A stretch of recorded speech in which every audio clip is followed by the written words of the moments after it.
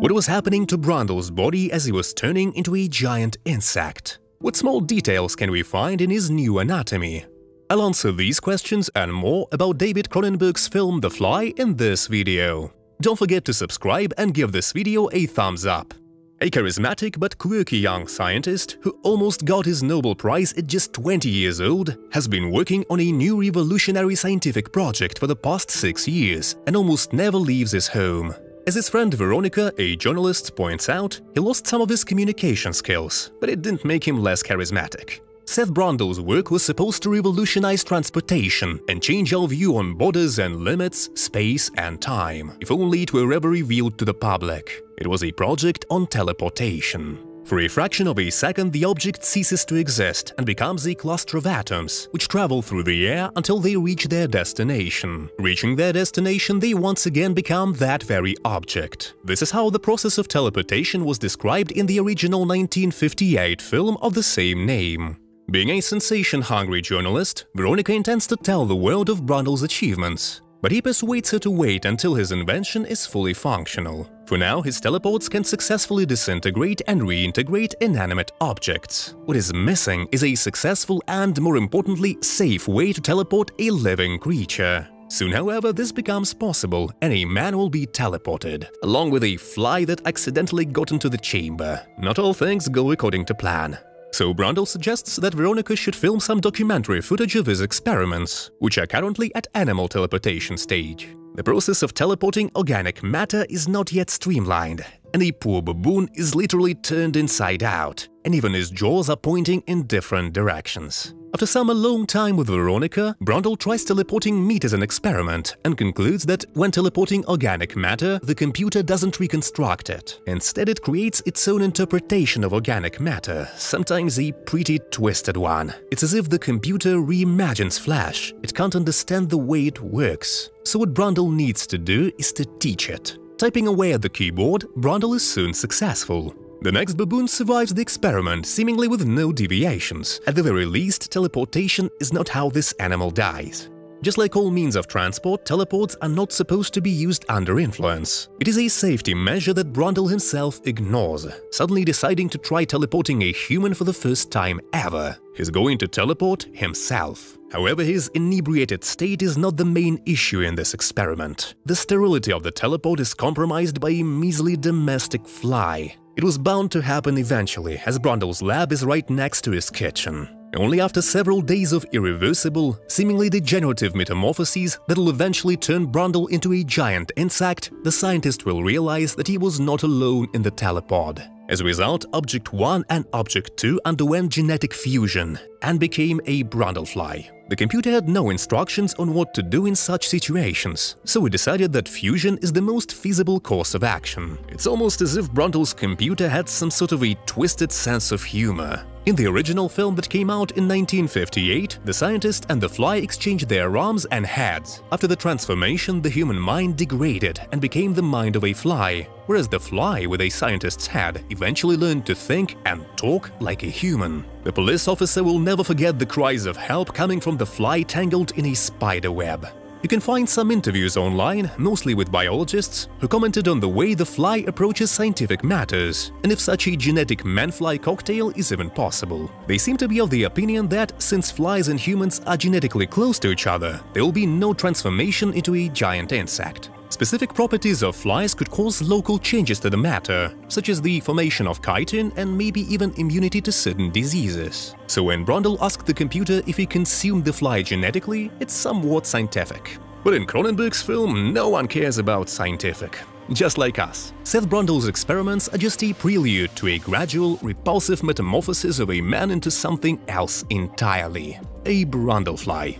In Cronenberg's interpretation, it's like a retrovirus, which inserted itself into the host's genome and started self-replicating. The first stage of his transformation is feeling like a brand new being, a superhuman who was purified on a molecular level, but whose behavior is rapidly becoming antisocial and aggressive. They say that flies can lift one and a half times their weight. If we apply this to a human, we can say that Brundle becomes strong, but not super strong, and gains heightened reflexes. Just like an insect, Brundle expends a lot of energy, which he replenishes by eating lots of fast carbs. And of course, he has the urge to procreate. But to create his offspring, he not only resorts to traditional methods, but also insists that the partner should undergo teleportation, becoming as revamped as he is. Another peculiar thing is that apart from the urge to mate, Brundle can also be attracted to humans because of all the sweat and oils that our bodies produce. That's why regular flies are so annoying and tend to stick around and pester us. Also, body warmth. Flies are cold-blooded and do not thermoregulate.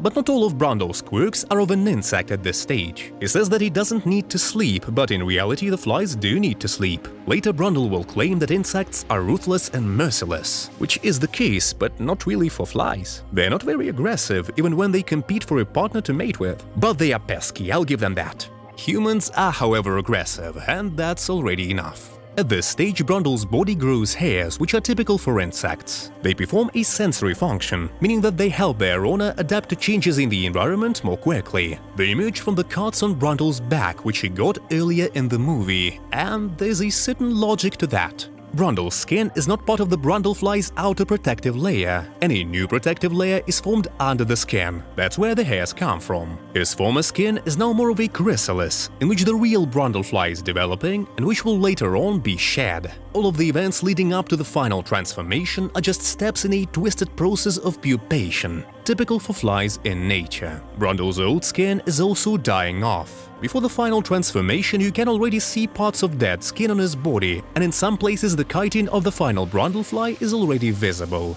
In its initial stages, his skin decay looks like a horrific infection, abscesses, blisters, and all the other nasty stuff. Brundle himself describes his transformation as cellular chaos and evolution. In one of the scenes that wound on his back becomes infected, maybe because Brundle ignored Veronica's advice and didn't disinfect it. At first I thought that what we see is Brundle's new blood, a liquid closer to hemolymph, which is the insect's colorless or yellowish blood. It's not red because it has no erythrocytes and doesn't take part in gases exchange. The insects have no lungs. They breathe either through their whole body or through a branching system of tracheas. However, the Brundlefly's blood is red, meaning that his respiratory system is closer to that of a human. For such a big creature, it's way more practical to have lungs. You can see until the very last moment that the Brundlefly breathes like an ordinary human being. It's a hybrid after all. The substance that Brundle pushes out of his fingers as he removes his fingernails, and the one that you see in the arm wrestling episode, may be the sticky substance that flies secrete to be able to cling to surfaces. Here you can even see the suction cups on his hands.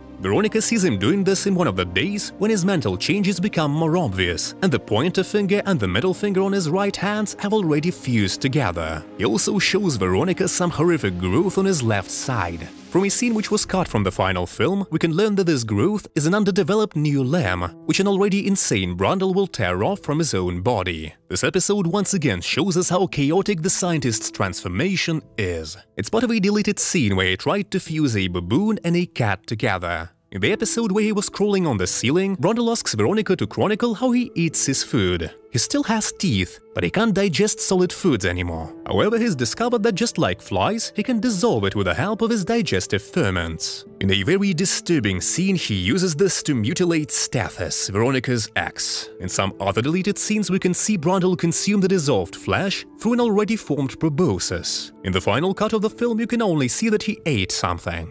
In the episode where his teeth fall out, we can see that his fingers have chaotically fused together, and for some reason, new rudimentary pinky fingers grew. They grew on his feet as well. Up until the very last moment, Brundle tries to find a way to restore his humanity and comes to a conclusion that the best option is to lower the percentage of the fly's genes in his own, as he can't get rid of it entirely. For this, he must undergo fusion with one or more other people. Putting his teeth next to other parts of the body that fell off, he notices Veronica, who tried but failed to tell him that she's pregnant with their child. Gathering what's left of his will and humanity, Brundle decides to let Veronica go. However, overhearing about her pregnancy and plans to have an abortion, his ruthless insect side takes over, and he drags the pregnant Veronica into the teleport to fuse with her and become the perfect organism. This is where the final stage of the Brundlefly's transformation takes place. He loses his mandible, his legs break and form an additional joint, a new rudimentary limb emerges from his side, the pair to which he tore off earlier. After he sheds his old skin, what we see is a disproportionate creature with an underdeveloped left arm, an asymmetrical head, and some vestiges of a human mandible. Its left leg looks like an ugly interpretation of a mammal's leg, and the right looks more like a fly's leg. The creature is clumsy and barely functional, and is a walking illustration of the chaos of evolution. The Brundlefly's plan failed, and this horrendous hybrid turned out to be its pinnacle. Still alive, the Brundlefly with his emotions and pain shown with the help of animatronic eyes begs to end his life and shoot him. There's still some of that charismatic, quirky young scientist left in him. One way or another, The Fly is not the story of a man turning into a monster. It is a story of how important it is to double-check everything before conducting an experiment. If you enjoyed this video, don't forget to leave a like and subscribe to my channel. Also leave a comment down below and share this video with your friends. Bye!